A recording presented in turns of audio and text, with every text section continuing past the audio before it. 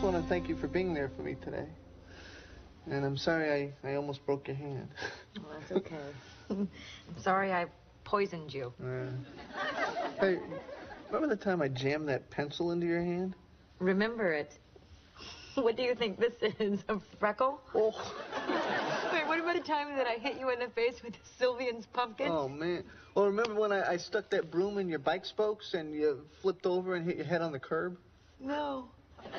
But I remember people telling me about it. Uh. Well, Ben has a little sister. Yeah. And I hope she can kick his ass. I'm gonna get a new bandit.